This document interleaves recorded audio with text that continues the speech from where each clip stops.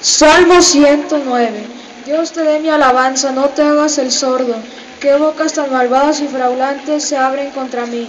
Y me hablan con la lengua mentirosa, me cercan con palabras odiosas y me combaten, me combaten sin motivo. En pago de mi amor me denuncian aunque yo rezaba por ellos. Me devuelven bien mal por bien y odio a cambio de amor. Nombra contra el un malvado que, que, es un acusador, se ponga a mi derecha. Cuando sea juzgado, salga a mi derecha.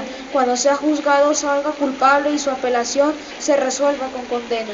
Que sus días sean pocos y su empleo lo ocupe otro. Que sus hijos queden huérfanos y sus mujeres viudas. Vagabunden sus hijos, que vagabunden sus hijos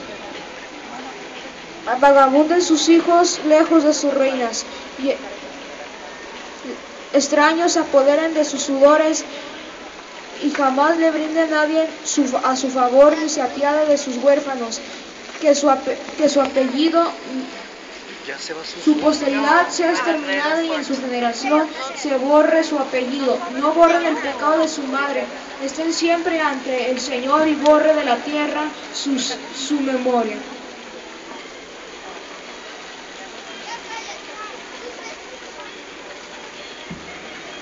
Ya cállate. ¿Tú crees que con tus sermones nos vas a convencer de escuchar tanta tontería? Sí, somos unos sordos que nos entra por un oído y nos sale por otro. ¿A ti qué te interesa en nuestra vida? Aléjate de aquí, que nos enfadas. ¿Y tú qué te crees? ¿Un mesías que con tu hablar nos vas a convencer? ¡Lárgate! Ya deberías de irte de aquí a otro lado. ¿Que no entiendes que nos molestan tus sermones y que todo es una mentira? Ya nos cansaste, mejor a otro lado.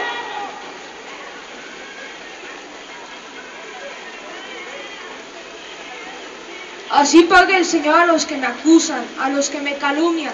Tú en cambio, Señor dueño mío, trátame conforme a tu nombre. Líbrame, líbrame por tu bondadoso amor, porque soy humilde. Y mi corazón ha sido traspasado.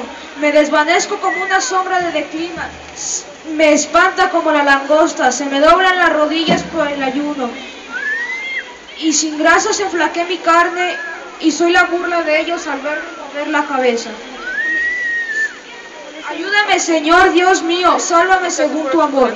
Sepa que tú y si, que tú, que que tu mano hizo esto, que tú, Señor, lo hiciste. Maldigan ellos que tú me bendecirás. Levántense y sean confundidos, que tus siervos se se alegrará. Vístanse de aprobio mis acusadores, que su infamia los cubra con un manto. Daré gracias al Señor al grande con mi boca. En medio de los ancianos lo alabaré, porque se puso a la derecha del pobre, se puso a la derecha porque se puso a la derecha del pobre para salvar la vida de los jueces. San Antonio, por divina inspiración, se fue a la ribera del mar, cerca de la desembocadura del río, y comenzó a decir como predicando de parte de Dios a los peces. Oír ustedes, peces del mar y del río, ya que los infieles herejes no lo quieren oír. Apenas dijo esto, cuando acudió repentinamente hacia él, a la orilla del mar, tanta multitud de peces, grandes, pequeños y medianos, que nunca ni en aquel mar ni en el río se habían visto tantos, y todos levantaron la cabeza fuera del agua y atendían con grandísima quietud, mansedumbre y orden, pues estaban delante, cerca de la orilla los más pequeños, detrás de, de estos los medianos, y atrás, donde el agua era más profunda, los mayores.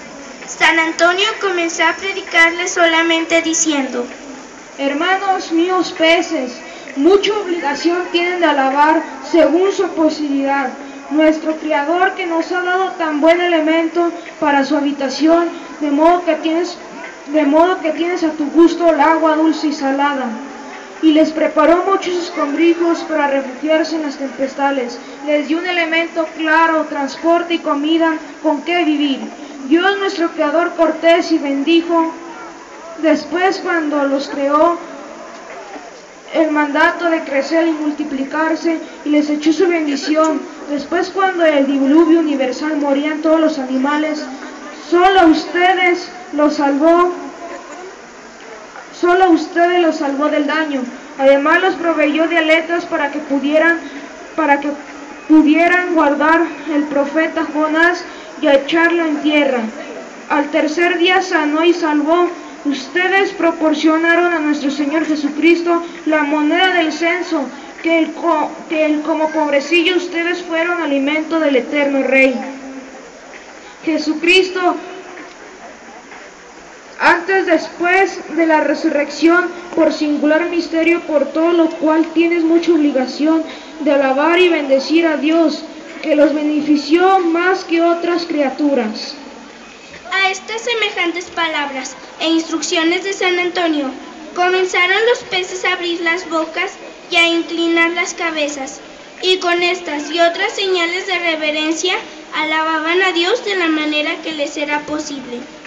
Viendo San, Antonio en los peces tanta reverencia hacia Dios, que más honraban los peces que los hombres herejes, y mejor escuchaban su palabra los animales irracionales que los hombres infieles.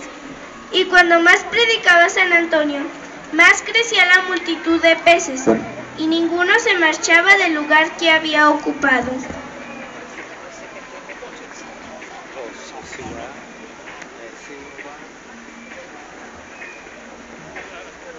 El padre les estaba dando la bendición cuando uno de los herejes llega y los interrumpe. Padre, padre, venga, ha ocurrido un milagro en el río, vamos. Tranquilízate, ¿de qué me estás hablando? Habla con tranquilidad, que yo no te entiendo nada. Habla despacio, necesitamos saber qué es lo que te pasa que te tiene tan asustada. Vamos, vamos todos al río a ver qué está pasando, vámonos. En el mar junto al lago San Antonio comenzó a predicarle a los peces. Como vio que nosotros no le hicimos caso, este, los peces nos están, lo están escuchando con, con tanta atención que nos han asustado. Vamos, vamos a ver qué está pasando, vámonos. Esto ha sido un milagro por no haber creído en su palabra. Necesitaba haber pasado esto. Hombres de poca fe, arrepiéntanse. La noticia del hecho comenzó a correr entre la gente de la ciudad y entre ella vinieron también los dichos herejes. Y viendo el milagro tan maravilloso y patente, se compungieron en sus corazones y se echaron a los pies de San Antonio para oír su predicación. El santo les predicó acerca de la fe católica y tan admirable los hizo que a todos aquellos herejes los convirtió y los hizo volver a la verdadera fe de Cristo, quedando también los fieles más confirmados y fortalecidos en ella y con grandísima alegría. Después, San Antonio despidió a los peces con la bendición de Dios, y todos marcharon con admirables demostraciones de alegría. Y lo mismo el pueblo permaneció el santo en Rimini muchos días, predicando y haciendo en las almas mucho fruto espiritual.